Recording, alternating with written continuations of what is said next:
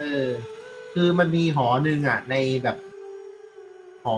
เป็นพัก อ่า หอพักอาคาร เออ แบบในมหาวิทยาลัยอะแล้วก็อ่าฮะจะมีเด็กกลับบ้านหมดหอใช่ไหมครับผมในปีแบบ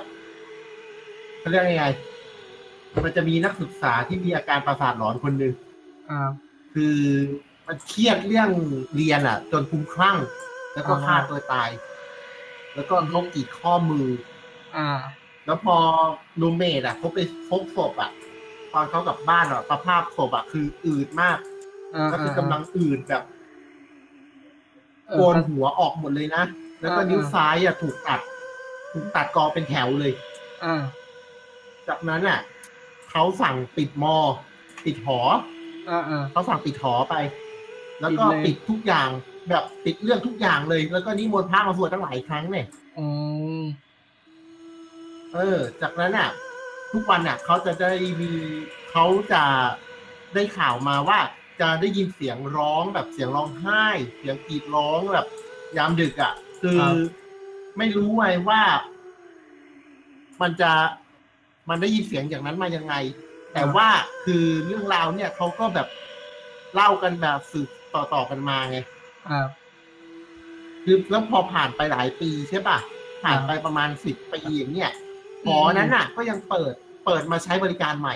ครับผม ใช่ไหมอ่าเปิดให้นักศึกษาเข้ามาพักอีกรอบหนึ่งเออแล้วก็มีข่าวลืออีกต่างหากว่าเรื่องผีอะ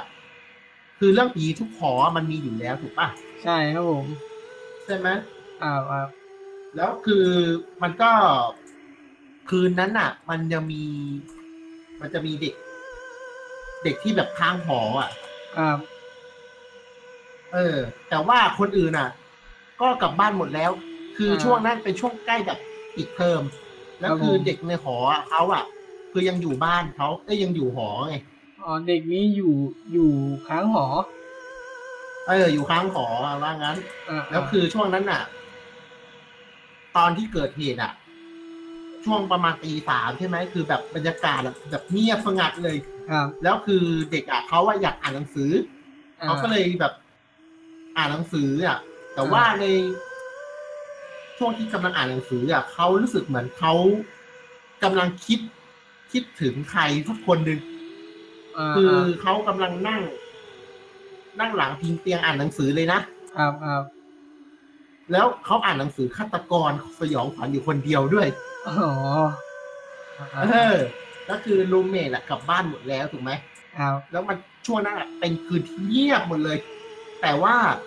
เงียบจนได้ยินเสียงแปลกๆอะคือเป็นเสียงกุกกักกุกกักน่ารำคาญเนี่ยเขาก็เริ่มหาหาเจ้าของเสียงแล้วว่ามันมันมันมาจากไหนใช่ไหมครับ แล้วคือเขาก็เสียงมันเขาก็เริ่มหาเพราะว่าเสียงมันดังขึ้นเรื่อยๆจากโต๊ะของเขาครับเสียงจากโต๊ะของเขามันเริ่มดังครับแล้วคือ เหมือนแบบ คล้ายกับมันมีอะไรบางอย่างอยู่ข้างในโต๊ะอะอ่าฮะเออ แบบมันกำลังพยายามดันดิ้นชักออกมาอ่าอ่าอ่าทั้งทั้งๆที่ดิ้นชักนั้นยังล็อกอยู่นะอืมแล้วคือมันแบบมันเริ่มสั่นสั่นหนักทุกทีเลยอะ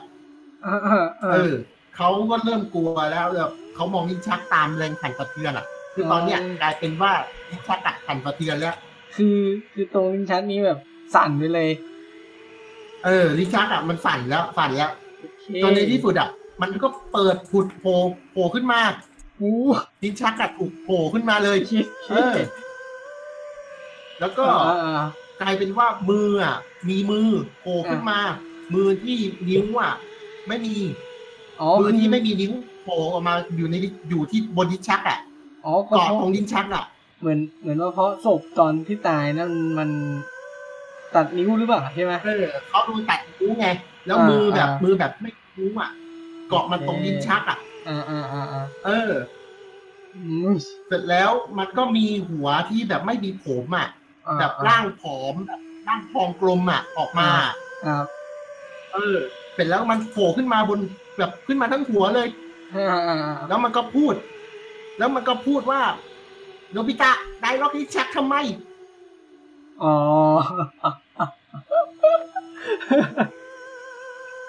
ไอ้นี่ดูริบอน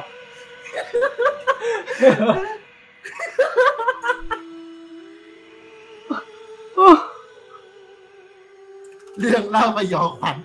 โดยผีเดเรมอน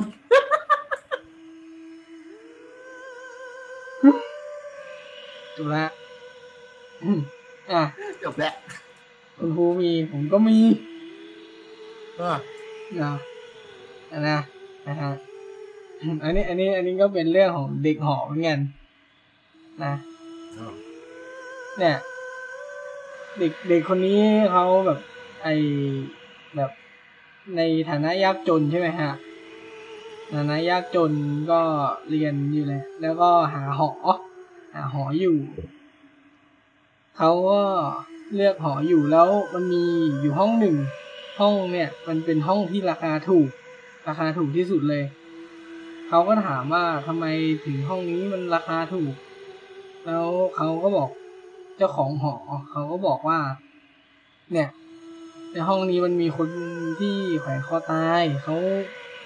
ไม่ค่อยมีใครอยากอยู่กันก็เลยลดราคาให้นะอ๋ออืมโอ้คือเขาบอกเลย อ่า เพราะว่า แต่เด็กคนนั้นเขาในในความแบบ ยากจนไงคือแบบ ยังไงก็แบบไม่ค่อยมีตังค์อยู่แล้วก็ไหนๆก็แบบ อืม อยู่ก็อยู่แล้วกันเงี้ยเออ ถ้าแบบอ่าฮะไม่อยากลบหลู่ไงเออ ถ้าถ้าเราแบบไม่ลบหลู่เขาเขาก็ไม่ทำอะไรเราอะไรประมาณนี้ใช่ไหมเขาก็โอเคอยู่ห้องนี้ไป แต่พอ พอหนึ่งวันก็ไม่มีอะไรเหมือนกันพอเขาแบบกลับมาอีกวันหนึ่ง ตอนกลางคืน เขากำลังจะหลับ เขากำลังจะหลับ เขาได้ยินเสียงในห้องน้ำเหมือนว่ามีคนเปิดน้ำอยู่ที่ก๊อกเหมือนน้ำไหลที่ก๊อกอะเขาก็แบบเฮ้ยหรือว่าลืมปิดก๊อกหรือว่าน้ำรั่วหรือเปล่าใช่ไหมเขาก็เลยเดินไปดู แต่ก็แบบพื้นในห้องน้ำมันแห้งแห้งหมดเลยนะแบบ น้ำไม่มีก็คือยังได้ยินเสียงน้ำอยู่ คือคือตอนอยู่ข้างนอกอะได้ยินเสียงน้ำแต่พอเข้าไปอะคือไม่ได้ยินเสียงน้ำเลย แล้วก็ไม่มีแบบอ๋อเหมือนไม่มีน้ำอะไรเลยเขาก็เลยแบบตกใจไงแล้วก็ออกมา ออกมาจากห้องน้ำแล้วก็แบบยกยกมือไหว้เลยนะยกยกมือไหว้บอกว่า ถ้าแบบจะมาหลอกกันนะเออ ก็ขอ ก็ขอให้เป็นเสียงน้ำหลอกแล้วกัน อย่าเปิดน้ำจริง ๆ นะอย่าเปิดน้ำจริง ๆ ค่าน้ำแพง ช่วยกันประหยัดหน่อยนะครับสาธุแล้วก็กลับไปนอนอ้าวอ้าวโอ้จบเลย จบแล้ว